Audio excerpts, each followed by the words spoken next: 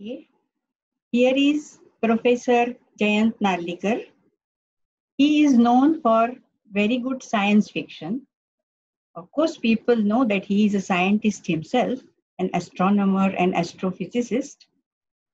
Uh, but he is also known for very good science fiction, which he wrote first in Marathi, then in English, Hindi, and it is translated in many languages. I am his wife, Mangala Narlikar. I am a teacher of mathematics. And we are asked to give this little film explaining what he means by science fiction and what induced him to write it and generally his opinions about science fiction and the similar things that are happening. So let us start. Can you tell us what you mean by science fiction? Well, my uh, perception is like this. Imagine some scientific idea.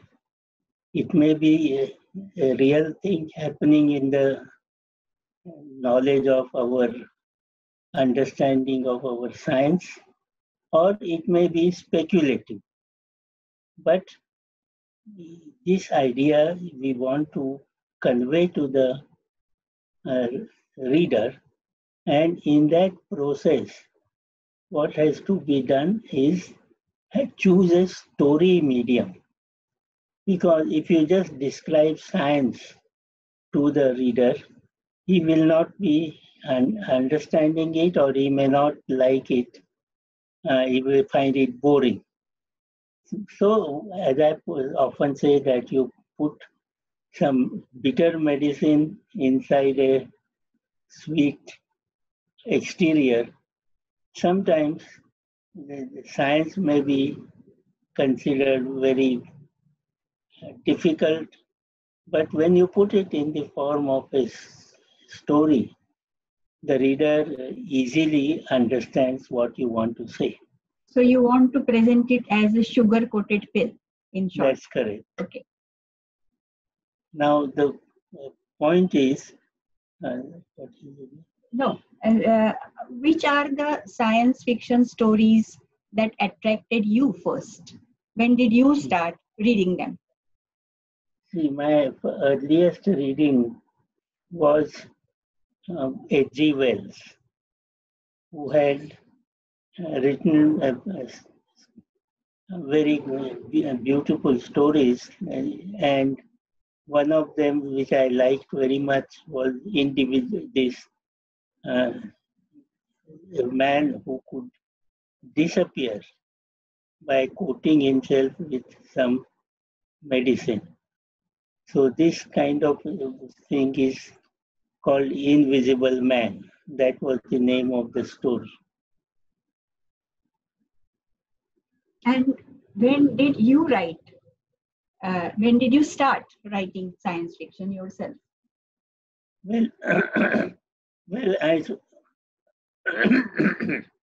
well, uh, I should say that uh, I was uh, attracted to science fiction as a method of conveying science through literature. And my guru in research was Fred Hoyle, who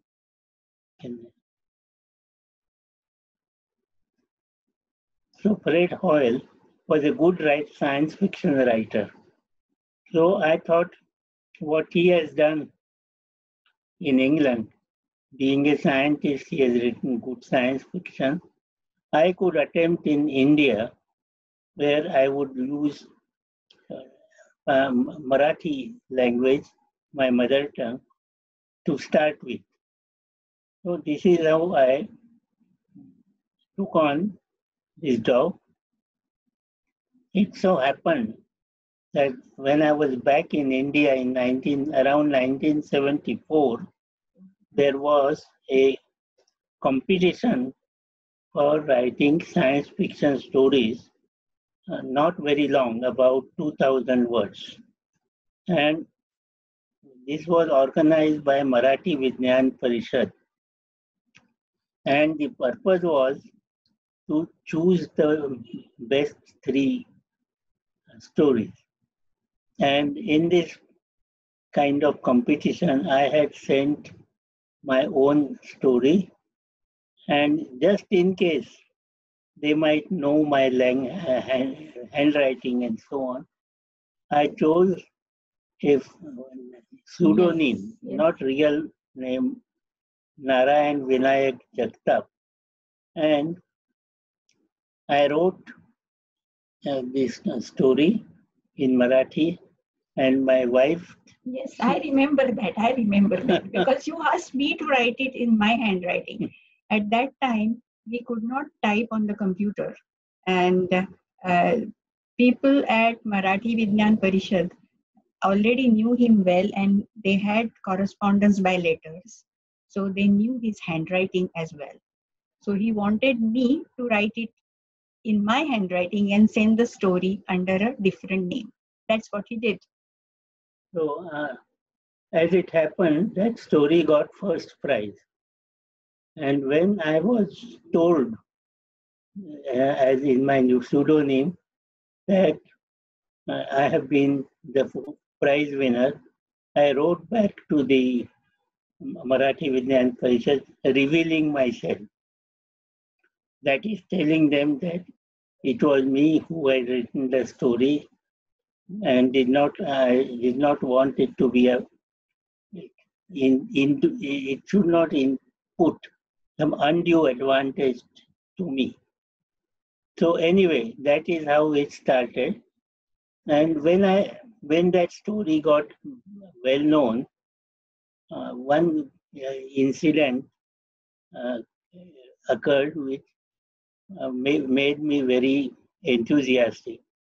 That was Durgabai Bhagwat, who was the pres- president of the Marathi Sahitya Sammelan. She no- noticed, she took note of that story, and in her speech, she uh, actually said, uh, said that it was a good uh, beginning for having a new kind of literature as part of Marathi. So he encouraged, she encouraged me to go ahead with more such stories.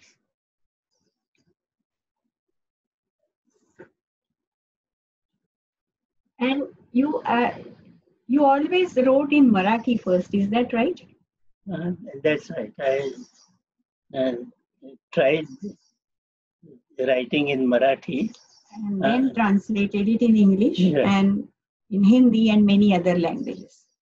Of, of course, the other language translations were done by others. Uh, and can you can you tell us about how you graduated from short stories to novels, and who are the other people who encourage you to do this? Yes, uh, as I was men- mentioning, Durgabai Bhagwat's endorsement um, may, may, may went a long way to encourage me to write more. And the uh, magazine called Kirloskar, which was uh, always experimenting with new things, Mukundrao Kirloskar. That's right. So they, uh, Mukundrao Kirloskar was the editor, and he asked me, he in fact told me whenever I had a science fiction story in mind, uh, to write it and send it to Kirloskar magazine. So I did that. Uh, I wrote a few stories, one after the other, and uh, uh, they were published in Kirloskar. Some of them were published in other journals uh, like Diwali Numbers and Maharashtra Times was also uh, encouraging. So this way, I wrote um, a, a fair number of stories. Then Shripu Bhagwat, who was a leading publisher From Mauj Prakashan. Yeah, his uh, uh, Mauj was the name of his um, uh, firm, and the Mauj Prakashan uh, Uh, also they published my first collection of stories in the form of a book, and that book was published around I think 1980 or so. So that book also received good support from readers and I feel that Shripu Bhagwat, who was always experimenting with different forms of literature in Marathi, he was a good uh, person to try my ideas on, and he was always encouraging. Can you can you uh, give your own uh, um, opinion about what is good science fiction and what is not good science fiction? Well, un- unfortunately, we find there are a lot of examples uh, which are of bad science fiction, or which one says are not science fiction but are uh, confused with the science fiction genre. So, what it means is the following supposing in some film, some movie, uh, you have a situation that uh, there is uh, horror incident. I mean, it may be a horror story. And that horror story is often interpreted as science fiction, the horror being caused by science.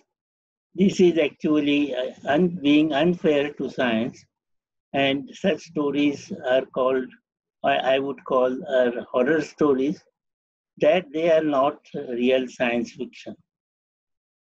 Then, similarly, you have a softer version of it in the form of fairy tales. In fairy tales, there are magic things happening, and people ask whether they are like science fiction. So, no, because there is no mention of science behind those uh, incidents, we therefore cannot call them science fiction stories. So that is uh, the kind of what one should not call science fiction or what one could call bad science fiction. So in short, if there is some kind of magic which cannot be explained in scientific way, then it goes in the realm of fairy tale or if it has got some ghosts and unrealistic uh, characters appearing, then it will go into the horror story. Is yeah. that right? Right. But I, I want to tell you of a very, very good science fiction story, very short one, but it uses scientific idea uh, in the form of it. It might it, it, it is it may look like a fairy tale. In fact, there is a um, fairy in that story, which uh, helps the prince, prince uh, in that story. The prince is uh, trying to find uh, where his intended wife, the princess, is hiding. She had been put inside a fort, and that fort was uh, about uh, six kilometers away. Now, to go there very quickly, the fairy gave the uh, uh, prince magic boots and said that you can, uh, each step will take you 10 kilometers. So you, you can very easily do the six kilometers. The prince took the shoes, put them on, and then when he took the first step, it took 10 kilometers. So he went past where the um, uh, the, the, the, princess was uh, supposed to be imprisoned. So he came back again and he didn't know how to go six kilometers with the help of that uh, those shoes until he, uh, he remembered his school geometry. The school geometry said, construct a triangle whose side, one side is six kilometer, the other two sides are uh, 10 kilometers. So you go 10 kilometer and then uh, in a slightly different direction, you return 10 kilometer, you find you are 6 kilometer away. Provided you have a side, a triangle with three sides, 6, 6, 10 and 10. So with the help of this kind of um, geometry, uh, he was able to reach the castle very fast. This is an example of how scientific idea can be brought in. This is a story where you are using your elementary knowledge of geometry. You can construct a triangle mm. with sides 6, 10, and 10. So that's, that, that's good. Uh, can you now tell us how we can have more readers interested in science fiction and also more writers who can produce good literature in this time? Well, uh, obviously, I would like good literary people, people who like write good literature, to get interested in science fiction.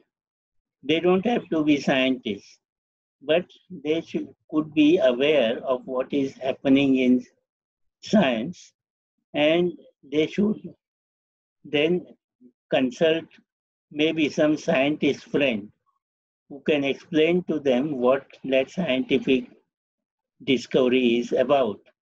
So in this way, they can learn a lot more about uh, scientific description and then they can use it to write stories. Since they are uh, good professional writers, they will do a better job, I feel, than I can because I did not start life or uh, do much work as a scientist, a science uh, writer. Fiction writer. Maybe, maybe you can give here to illustrate this point uh, your own experience with uh, E.M. Forster, because he had shown you his science fiction rather hesitantly mm. about the machine stops Morgan, E.M. Forster. Yes, uh, I, I should tell the example of E.M. Forster, who was a famous uh, writer whose book, The Passage to India, A Room with a View, etc., are very well read and very well known. So one day, actually, I was living in King's College for a few years as neighbor of E.M. Forster. So we used to meet quite often, and he would ask me various questions about science. He himself was not a, a person who had learned science at any level. So he was very dissident, diffident to say something, but he always wanted to know more. So when I told him all these uh, things that were happening, he one day came and I said, uh, do you know I wrote a science fiction story? I was very surprised because I had not seen that particular story, whatever he was referring to. So I asked him, where, when do you, uh, when did you write and what is it? Can I read it? So he said the story is called The Machine Stops. He told me where it can be found. And I went and had a look. I read it. It was beautiful story. And uh, this is exactly an example I was just now saying that good literary people, if they understand some ideas of science, they can write a much better story. So that is one example. A good writer, a good author should first get a nice scientific concept like E.M. Forster, where he just imagined that all the machines stop.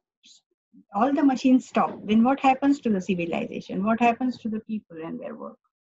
So he constructed the story on that That's particular right. Idea. It was Yes. to show how if we come to depend on mechanization too much, Yes. we what might run happen. into problems. So you can create a probable situation using one scientific idea and then build your story on it. Yeah. That is a very good example.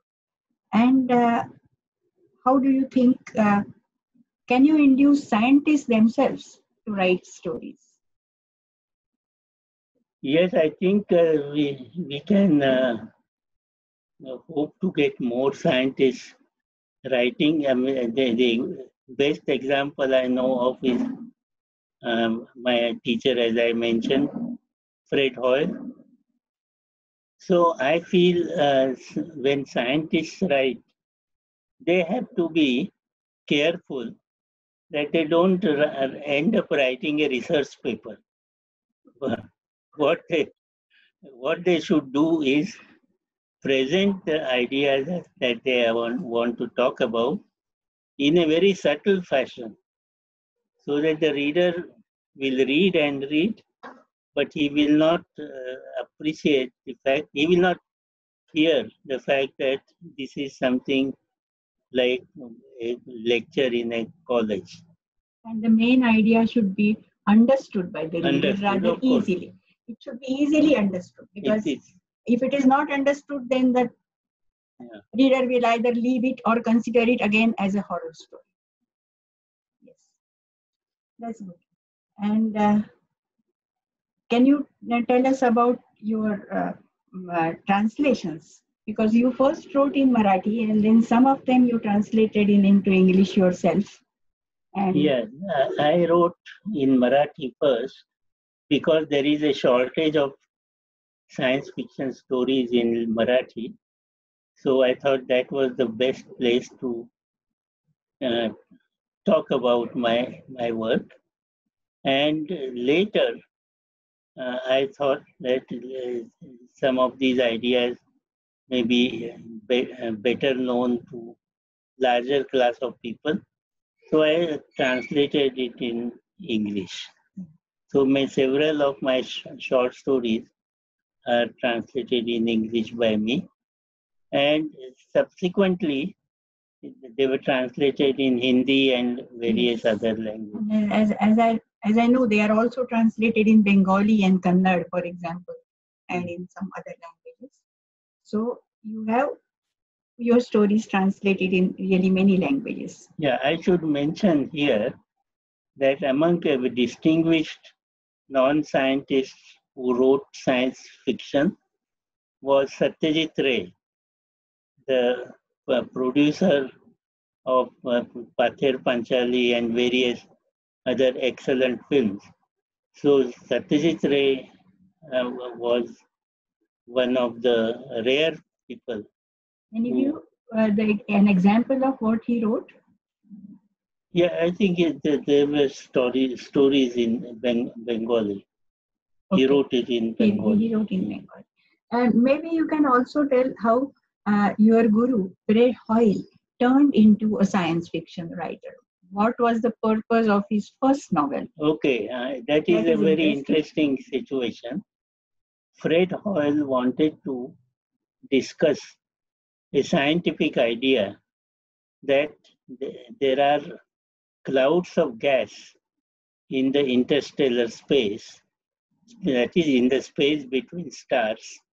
And the uh, idea was that these uh, uh, cl- clouds contain organic and inorganic molecules.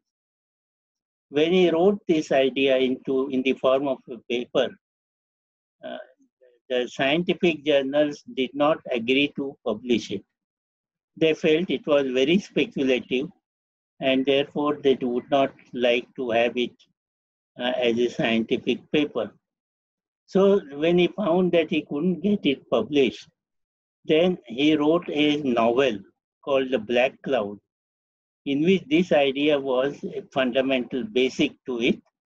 And he wrote a very interesting plot, and the whole book was a uh, book for reading uh, in your spare time, and it was not a scientific uh, technical monograph of any kind. So it was a brilliant uh, way of presenting an idea in the form of a novel. Yeah. yeah. So what happened was the uh, uh, discovery of uh, such clouds ultimately was done about 10 years later because uh, the astronomers had special telescopes which could detect molecular radiation.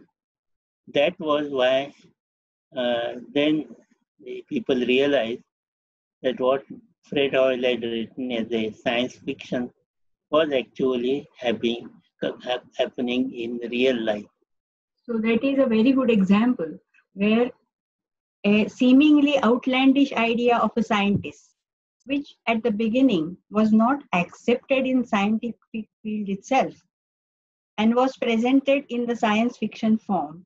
And later on, it was found that his idea was actually correct and it was corroborated by the evidence. Uh, so I think it is also a very good feature of a good science fiction that whatever is projected in the story can actually come into real life or comes to be accepted later on, like Arthur Clarke's. And uh, his, Clarke was there, Asimov is there. Yes. There are people who have perceptive science fiction. So they can project into future and whatever they are imagining about future really comes true, like mm-hmm. the satellites that Arthur Clarke had imagined. So sometimes a good, rich imagination of a scientist can come into real life as well.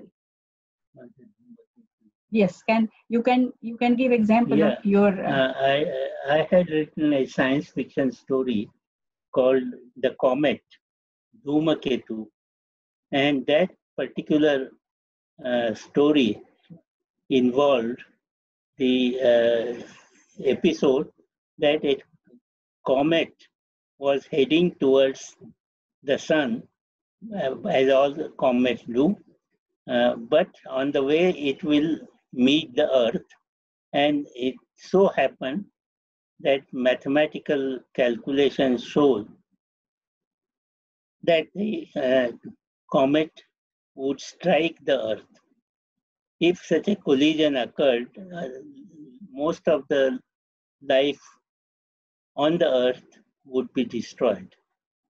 So to avoid this, to prevent this happening, what can one do?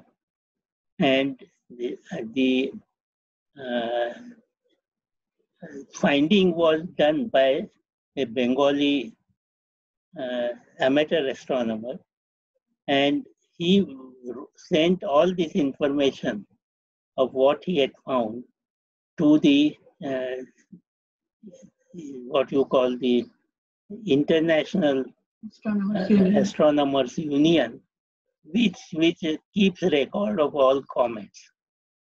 So they uh, and their uh, staff and other scientists they verified and found that this was going to happen.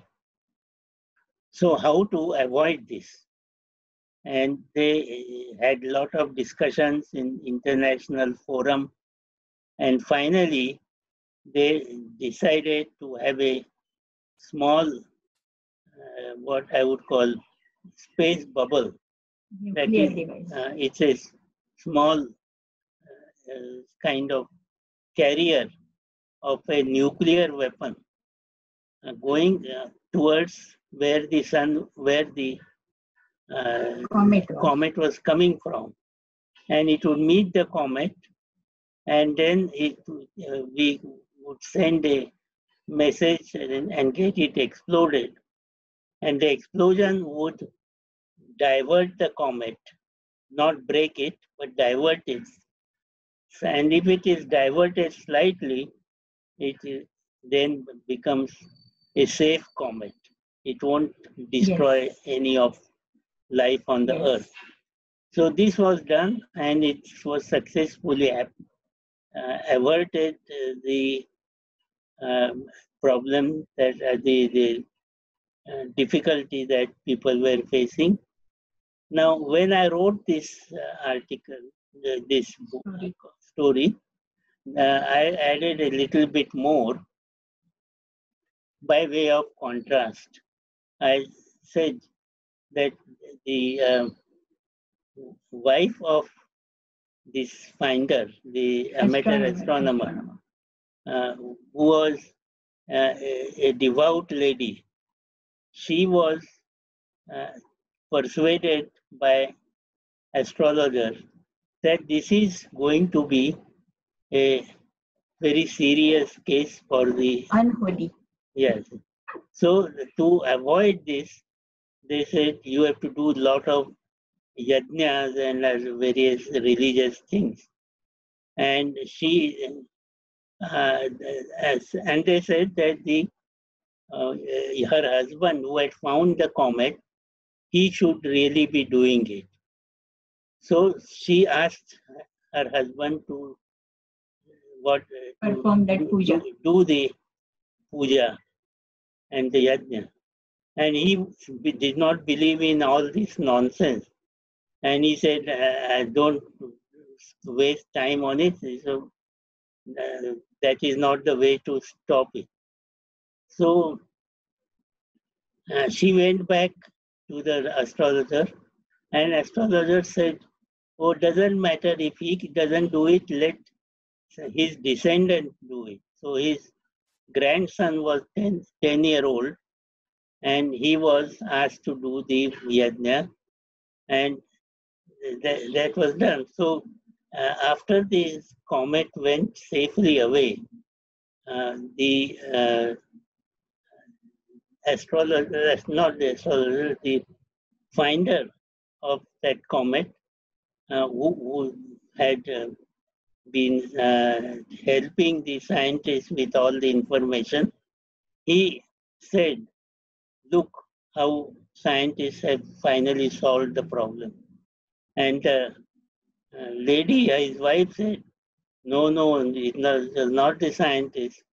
It is uh, astrologers who have produced this kind of uh, effect by performing yajna. So the uh, this story ends by presenting to the teacher, to the reader, the, the contrast in yes. our society. Society. In there Indian culture, there is this contrast. Yes, there are some very good scientists, people uh, who are rationalists and who are excellent scientists, but there are also people who go after superstitions mm. and who still follow some uh, uh, queer and odd things for getting what they want. So it's, uh, I think, uh, do, do you suggest that the scientists also try to remove these kinds of superstitions somehow? Well, well, scientists could debunk a lot of such ideas by uh, experimentation or by talks or by various other special examples. So I suggest that scientists have a lot of work, even if they don't write science fiction, they should do science popularization, that is, popularize science and try to remove yeah. the uh, different superstitions. There's a different type of free, free the society of all such silly superstitions. So uh, with, with this message, I think we can uh, end this interview and see how the readers and viewers like it. Thank you.